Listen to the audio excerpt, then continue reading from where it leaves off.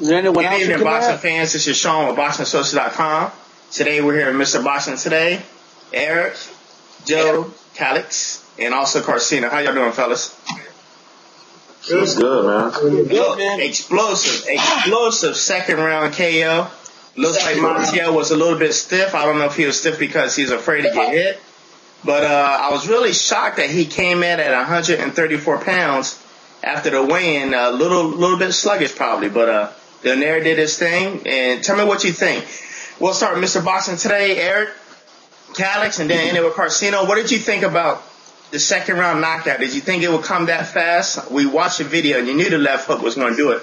But did you think it happened that fast? And what's next for Donaire?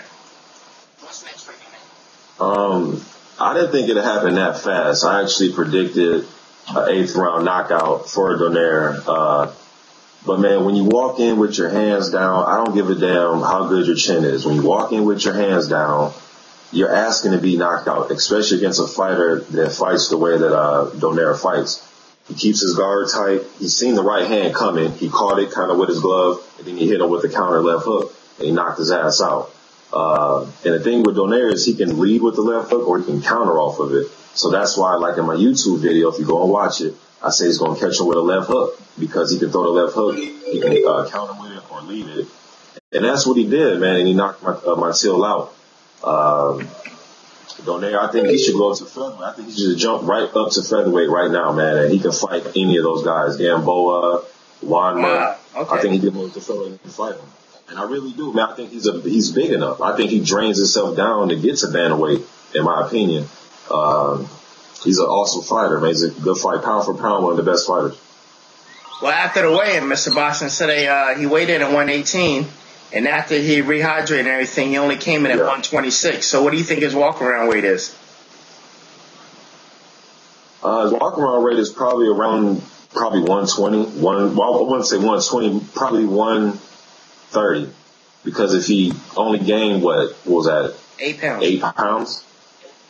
Eight pounds. I mean, that's really not a lot. Uh, and how many did Montiel gain on 16? Yep. So, uh, I mean, I still think he can make a higher weight class. I mean, he has the bigger frame. He's just probably one of those guys, man, that just stay in good shape. But with weight training and properly getting his body built up, uh, I think he can make featherweight. I don't really think this means anything. He just stays in good shape. Okay. All right. What about you, Eric, Mr. D Styles? Did you expect it to be a quick knockout like that? And where does he go out from here?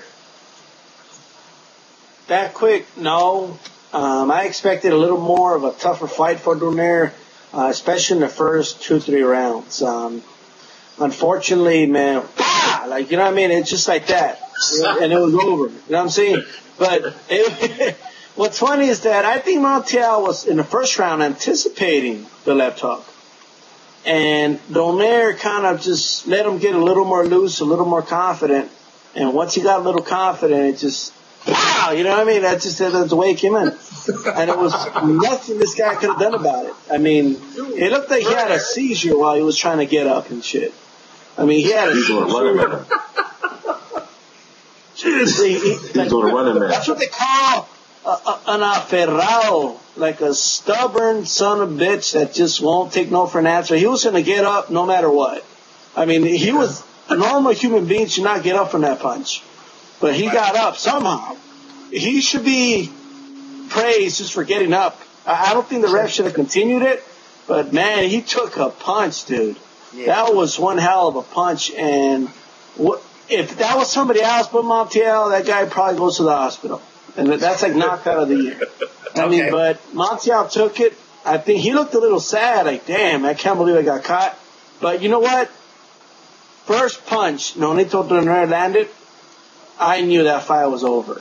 It sounded too loud, affected Montiel too much, and Montiel just had a look like, damn, like what the hell have I gotten myself into? He just he couldn't believe that. You know what I mean? So, and that was that, man. So All right. Well, Calix. Let's to you, Calix. Calix, did you expect it to be such a quick knockout? And if you were the ref, Calix, would you like him to continue?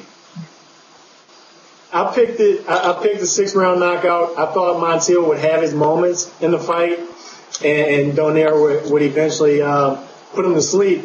But no, look, that referee, he got up at nine and the referee told him to walk forward and he, he would not walk forward. He couldn't walk forward. So you stopped the fight, man. The guy was out on his feet and when he was down, it looked like he was dreaming about uh, climbing stairs or something like that. I mean, he was just having a seizure or something.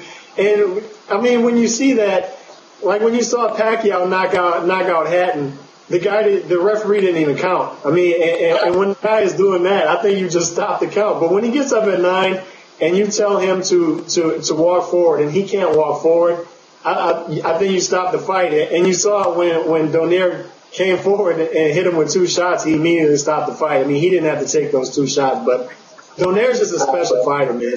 He, he, he's a great fighter. I think he's top five pound for pound. I've been saying that about him for a while, but he finally put it together tonight. He's been doing that experiment. Me and D-Style were talking about that uh, a couple days ago where he, he goes southpaw. He switches from southpaw to conventional. He's been experimenting the past couple fights. And tonight, he, didn't, he didn't go southpaw at all. He, didn't, he, he meant business tonight. He was going to make a statement. Montiel was just, just another guy in the ring tonight. I mean, and the reason he was stiff is because, I mean, he, he saw the speed, he felt the power, and it was just Donaire's night. And Donaire, like Mr. Boxing today was saying, I think he could go up to 126, and we could see 126 pop off like it like it used to be when Prince Naseem Hamed was back there, and we we got big money fights at 126. You know, we can get big fights between Donaire, Gamboa, Lopez, but I'd like to see him finish business at 1 118 and not Mares out before he moves up. But okay. he can skip 122. Just just hop up to 126. Okay, okay. All right, Karceno, we're going to end it with you.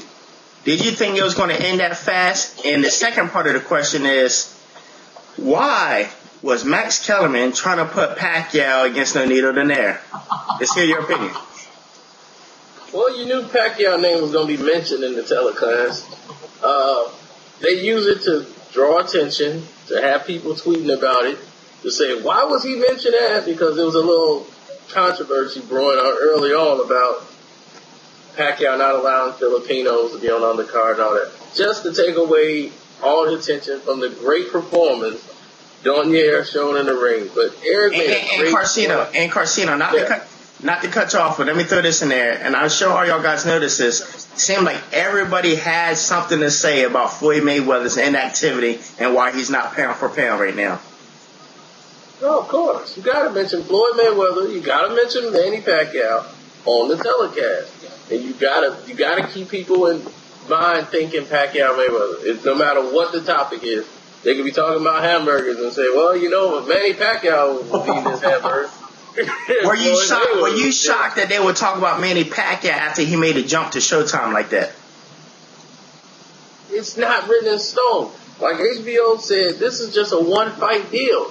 We don't know what's going to happen down the road. They haven't. They're not even washing their hands like they lost Manny Pacquiao. Okay. So they're all looking like it's just a one fight deal. We'll see right. where it goes from there after the one fight. So they they taking their chances like that. But HBO could make anybody like they made Manny Pacquiao. They can make Nonito Donaire Manny Pacquiao. Couple more fights, you can be talking about him. He do performances like this. They can move him up against the bigger names. He will be the next guy. I said it two years ago. He is better than Manny Pacquiao, technically and skill wise. He's light years better than what Manny Pacquiao is right now. You did say uh, Eric said something, so I want to know what. Yes, what, what Eric made a great point, and it was right. Once he, once Montiel got hit, it changed the whole fight. When he first got hit in that first round, it stopped him, and he was stuck. He was coming inside and just freeze. He didn't even know what to do. He was so thinking defense even when he was in close. He was thinking about getting hit. So his whole mentality and the whole fight changed once he got hit. He realized that Donaire was stronger than him. It was real strong and fast. He couldn't even set. So he was in trouble and he knew it. And he was just dead in the water. He was just trying to survive and he couldn't make it. He went in there hands down, head, head sticking forward like hit me. Oh God, he did. right. Have you guys okay. seen the movie Enough? when, when that guy slapped J Lo, and she's like, "Well, I can't hit you." No, ah! knocks her out. That's kind of what happened in this fight. All right, Yeah, fellas. Hey, just to add one more, just to add one more thing, on to that, uh, Calix, uh, people think that, uh, Donaire's been experimenting with this switch in southpaw. He's actually been doing it since the amateurs. Uh, even today, Sean uploaded a video of, uh, Viloria fighting, uh, Donaire in the amateurs, and he was Right. doing it then. Exactly. So he's, he's he's been switching southpaw and orthodox. I mean, the dude has a good fighting style, man. He came up in the same gym as Andre Ward, him and his brother did. So he has that whole slick, you know, moving around type of style down pat, man. He's not, you know, straight up and it too much down. though. Well, He's, I mean, but he's up here conventional, down here southpaw. Oh, yeah, Oh, yeah, because- gap. When he's southpaw, he, he gives up his height. The first thing I see is he gives up his height. He'll crouch down, and I'm like, man, why is he doing that, man? But I mean, he fights well southpaw, but he's better at when he's orthodox, though. Yeah, and how re- much was this knockout similar to Vic Darchinyan's knockout? Man, wasn't it similar? Except for this time, uh, what's Yeah. his name? Montiel got one punch off. And look, and, still and, Mr. and Mr. Boxing today, the reason why when you switch like that to southpaw and you find the fighters that they duck Right. down and lower the equilibrium is because they don't have good balance standing up, fighting on the outside. So they duck down because they're afraid of getting caught off guard and knocked down. He knows his balance is not that Right. great as a southpaw. So, so in other words, he shouldn't do it so much. And, and not, I guess- I guess weaker opposition, it's okay. Joe and Eric is on the same point Yeah. there. All right, fellas. Once again, I thank you for your comments on the Montiel Donaire fight. And Eric, take us out with that signature punch.